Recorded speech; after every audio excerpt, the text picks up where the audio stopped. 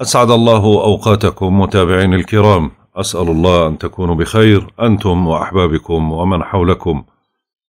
قبل ما نبدأ بتوقعاتنا لبرج الحوت لشهر ثلاثة حابب أنوه أنه إحنا توقعاتنا هذا الشهر تختلف عن أي توقعات أو توقعات أي شهر مر يعني هاي أول مرة إحنا بنستخدم هذا الأسلوب. اللي هو بدايته رح نعتمد على الحركة الكواكب حركة الكواكب وتواجدها وتنقلاتها خلال هذا الشهر. وبرضه رح نحكي عن تأثير الشمس على كافة الأبراج يعني على كافة على البرج وإيش اللي بتأثر عليه طيلة الشهر آه، كتأثيرات عامة. ورح نحكي عن توقعاتنا للخارطة الفلكية لكل البيوت 12 بيت يعني 12 آه، إشي مهم أنت بتعمله في حياتك اللي هي تقريبا كل ارتكازات حياتك. راح نشرحها نحكي إيش الإيجابية إيش السلبية إيش الفترات القوية في كل بيت وإيش الفترات الضعيفة في كل بيت عشان الكل ينتبه ويستغل الفرص خلال هذا الشهر. بالنسبة لحركة الكواكب هذا الشهر الشمس موجودة في الحوت من 19 2 لغاية 20 3 صباحا. عطارد بيتراجع في الحوت لغاية يوم 4 3 وبعدين بينتقل للدلو. وبيستمر في عملية التراجع لغاية صباح يوم 10 ثلاثة وبعدين بيرجع للحركة الأمامية في الدلو. آه لا ينتقل للحركة آه لا ينتقل للحوت مرة ثانية في يوم 16 ثلاثة وراح يضل في برج الحوت لغاية نهاية الشهر. أما بالنسبة للزهرة فهي موجودة في برج الحمل لغاية صباح يوم خمسة ثلاثة وبعدين راح تنتقل للثور. المريخ موجود في الجدي لغاية ثلاثين ثلاثة وبينتقل للدلو. المشتري في الجدي زحل في الجدي لغاية صباح يوم 22 3 وبعدين بينتقل للدلو أورانوس في الثور آه، نبتون في الحوت وبلوتو في الجدي. أما بالنسبة للتوقعات العامة وهي بتتأثر من انتقال الشمس أو تحركات الشمس وطبعا الشمس الآن موجودة هي في الحوت عندكم انتقلت يعني من يوم 20 فعشان هيك آه، عم نحكي لكم كل عام وأنتم بخير لأنه هسه بصادف كل يوم عيد ميلاد شخص فيكم آه، الفترة هاي آه، بتتركز على الوضع الصحي والنفسي وبتزيد ثقتكم بنفسكم يعني الشمس آه، رح تعطيكم طاقة إيجابية. ولكن بتستعيد عافيتك بسرعة وبتصير نظرتك للحياة متفائلة وإيجابية وبيدعمك الحظ بقوة لدرجة إنك بتعوض أي تأخير أو تراجع أو خسارة وبتنحل كثير من المسائل المتعلقة أو المتعطلة وخاصة على الصعيد المهني أو العاطفي أو الاجتماعي أو الصحي. تقدر تحل الأمور بوضوح أكثر.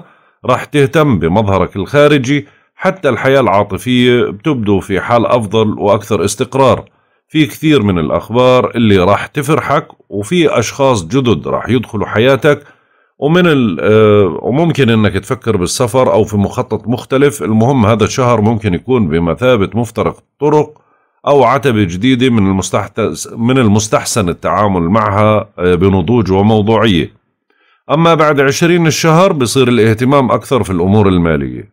هيك هذا بالعموم. طبعا هسه بيجي واحد من الحوت بقول لك الشمس انتقلت لعنا إحنا ما تحسناش لا إيجابي ولا مش عارف إيش ولا مبطخ الأمور وإحنا لسه منيل الأمور علينا. طبعا الشمس كل يوم بتنتقل لدرجة يعني مجرد ما اجى عيد ميلادك هي الفترة اللي أنت بتكون أنت في يوم عيد ميلادك اللي بتكتسب أنت من شعاع الشمس اللي هي الطاقة الإيجابية اللي إحنا حكينا عنها. ما دام الشمس لسه ما وصلتك معناته أنت ما زلت يعني بتشعر في بعض التوعكات أو بعض التعب.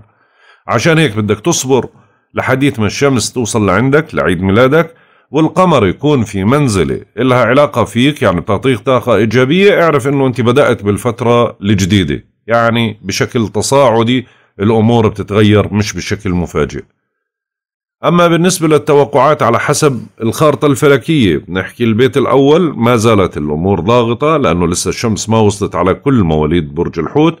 فمنلاقي نوع من أنواع الضغط على المستوى النفسي والشخصي آه، ممكن رواسب الأحداث السابقة بعض الأمور اللي همتك أو اللي مشكلتك بالفترة الماضية دخلتك في مرحلة من الاكتئاب أو عدم الاتزان النفسي. فعشان هيك حاول إنك تشحن حالك بطاقة إيجابية هذا الشهر وتطلع من هذا الاكتئاب اللي أنت عايش فيه أو هاي الدراما اللي مأثرة عليك بشكل آه، مخيف. حاول إنك أنت تشحن حالك طاقة إيجابية وتنطلق واكسب قد ما بتقدر خلال هذا الشهر. وراح تسمع أنت إنه في بيوت بتدعمك بشكل كبير وفي بيوت ممكن إنها تشكل لك بعض المخاطر أو تركز على نقاط معينة أنت متخوف منها. أما بالنسبة لبيتك الثاني بيت المال فأنا شايف الأمور بتدعمك بشكل إيجابي جدا. طبعا مش طيلة الشهر يعني بنلاقي إنه يوم واحد الشهر يوم ثلاثة الشهر. يوم آه، آه، خمسة وعشرين وستة وعشرين هدول أيام صعبة على المستوى المالي. يعني بتزيد المصاريف بتزيد النفقات المطالبات المالية بتنضغط على الأمور المالية بشكل عام. ولكن طيلة الشهر شكل إيجابي جدا تدعمك الأمور المالية ممكن يجيك مال عن طريق عمل إضافي أو عن طريق هبة أو مساعدة ممكن مال بيرجع لك. يعني في أمور مالية ممتازة. راح تقدروا ترتبوا أموركم تفوتروا الأمور. آه، إعادة جدولة حساباتكم وديونكم ممكن إنه أنتم تنطلقوا بخطة مالية جديدة ولكن بدكم تقللوا من المصاريف قدر الإمكان الغير مرغوب فيها. أما بالنسبة لبيتك الثالث بيت التنقلات والاتصالات فأنا شايف إنه عندك اليوم كثير من التحركات كثير من التنقلات والاتصالات خلال هذا الشهر.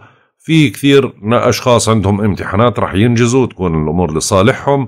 في أشخاص راح يشتروا يهتموا بمشترى سيارة أو استبدال سيارة أو إنه ممكن إنه آه، يفكر بجهاز خليوي أو كمبيوتر شيء له علاقة بالاتصالات والمواصلات. عندكم قدرة على إقناع الغير بوجهة نظركم. عندكم سرعة بديهة عالية جدا. في منكم أشخاص راح تفكر بالسفر والتنقلات. في منكم راح يفكر بالنزه أو الرحلات أو الانطلاقة أو الترفيه أو الشغلات اللي من هذا القبيل.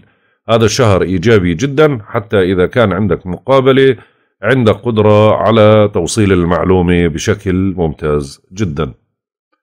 أما بالنسبة لبيتك الرابع في منكم راح يهتم بأمور السكن وأمور بيت البيت يعني.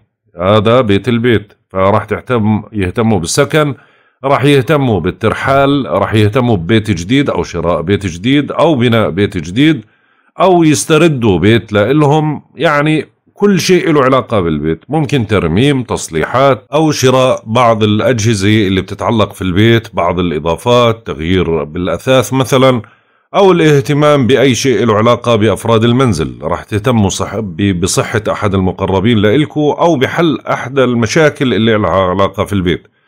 اللي شايفه أنا على حسب الخارطة الفلكية إنه في فرحة راح تصير عندكم بداخل البيت ممكن تكون مناسبة أو اجتماع أو خطبة أو مولود جديد.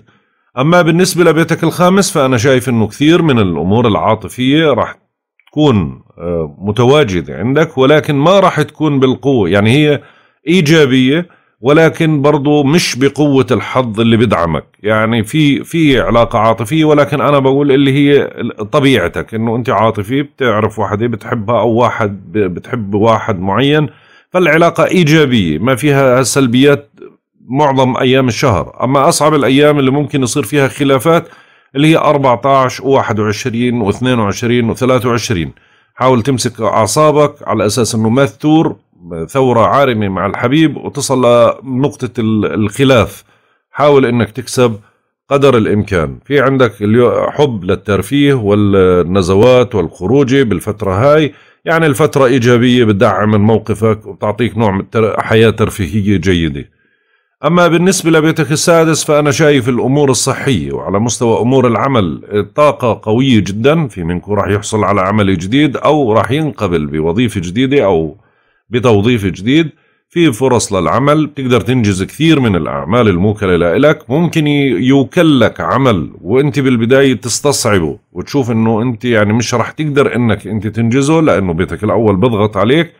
ولكن هذا العمل إذا أنجزته رح يكون لمصلحتك مصلحتك وعتبة جديدة لحياتك. فحاول إنك أنت تستفيد وتنجز هذه الأعمال. في منكم راح يهتم بصحته ممكن يسجل بنادي أو بداية برنامج غذائي معين.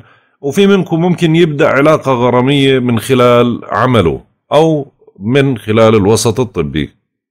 أما بالنسبة لبيتك السابع بيت الشراكة العاطفية والمالية فالشهر هذا فيه كثير من الأمور فيها نوع من أنواع التواصل على المستوى الشراكي.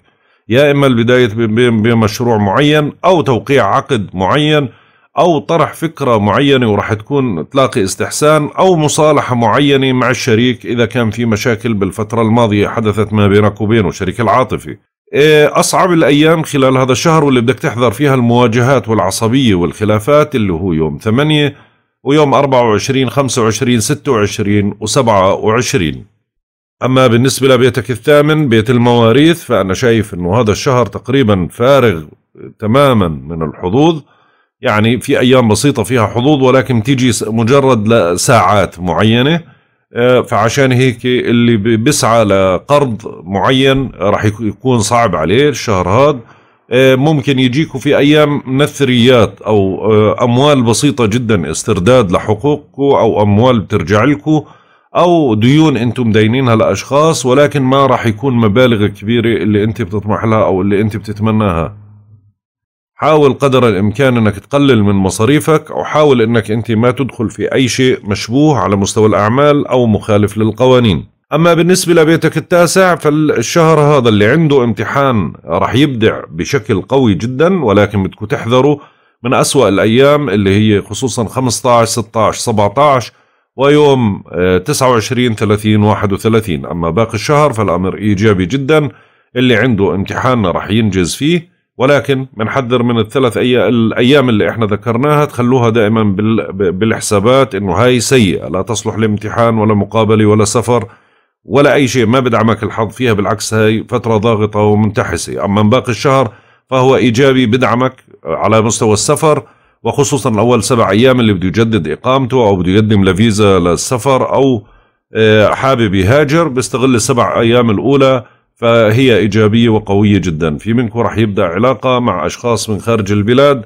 أو تواصل مع شركات أجنبية أو أشخاص يساندوهم ممكن يتعلموا لغة جديدة أو يدخلوا في مجال تعليمي جديد أو يغيروا منهجهم التعليمي لدراسة بعض المواد الجديدة. أما بالنسبة لبيتك العاشر بيت الرغبات والأماني فأنا شايف أنه يعني في نوع من أنواع الحظوظ ولكن برضو في أيام تضغط بتشويه السمعة. حاول إنك أنت تحمي حالك منها لأنه آه، تشويه السمعة مش سهل وخصوصا آه، اللي هو يوم آه، ثلاثة وأربعة يوم ثمانية تسعة عشرة 11 12 13 يوم 15 16 17 ويوم 27 28 29 هاي الأيام بدك تكون حذر جدا من أي شيء. ممكن ان يشوه سمعتك مخالفة القوانين مواجهة مع رجال الأمن مخالفة دخول في أشياء مشبوهة إيه، نزاعات على مستوى العمل مع زملائك بالعمل أو رؤسائك بالعمل أو إجراء أي عمل ممكن إنه يثير الشكوك أو يشوه سمعتك. بدك تكون حذر من هذه الأيام أكثر شيء. أما باقي الأيام فهي أيام إيجابية بتدعمك بالحظ الكبير لدرجة أنه أنت راح تحقق أشياء كثيرة على مستوى السمعة وأشياء تنفعك في المستقبل إن شاء الله على مستوى العمل مع الشركات الكبيرة. أما بالنسبة لبيتك 11 فأنا شايف أنه علاقتك مع أصدقائك الشهر هذا راح تكون صعبة شوي.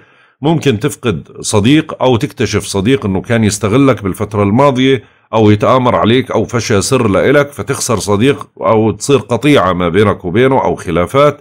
أهم شيء أنك ما تحاول تفرض سيطرتك أو سلطتك على الأشخاص المقربين لإلك خلال هذا الشهر حاول تتعامل بلين. أما ما باقي ما بعد 13 الشهر بنلاقي أنه الأمور صارت إيجابية ممكن يجيك دعم من صديق أو بتكثر الدعوات والحفلات والمناسبات آه، حواليك بتوجه لك دعوة فأنت بتكون إشي آه، يعني قوي جدا بالحضور لدرجة إنه هذا الإشي بدعمك دعم قوي جدا في هاي المناسبات. أما بالنسبة لبيت متاعبك فأنا شايف إنه بيت متاعبك ضاغط عليك برضو أول 13 يوم آه، بشكل قوي جدا. فعشان هيك بدك تدير بالك من أي تراكم بالعمل آه، أي تأخير على العمل إجازات تتغيب تهمل بأعمالك آه، تحاول إنك ما تراعي صحتك تجهد نفسك زيادة. هاي الفترة بتضغطك على كل هاي المستويات. حاول إنك أنت تكون حذر وتقدر إنك تنجز كل المطلوب منك الضروري. تخلد للراحة تراقب صحتك لأنه الفترة فيها نوع من أنواع الصعوبة. صحيح إنه بيت المتاعب راح يستمر لآخر الشهر ضاغط ولكن أقواها هي أول 13 يوم. فحاول أنك أنت تنتبه من الأعداء أو الخصوم المتخفيين وراء صداقة أو معرفة أو علاقة أنهم بتوددوا لك وهم أساسا ناويين يتحكموا في حياتك أو يخربوا حياتك. فاحذر من الأشخاص آه، اللي نيتهم سوداء أو سيئة ممكن يكيدوا لك. ربنا يجعل آه، كيدهم في نحرهم ويعيذك منهم ويحميك. هيك بنكون انتهينا من توقعاتنا لهذا الشهر. والله أعلم. يا رضا الله ورضا الوالدين سبحانك اللهم وبحمدك أشهد أن لا إله إلا أنت أستغفرك وأتوب إليك. أترككم في رعاية الله وحفظه. إلى اللقاء.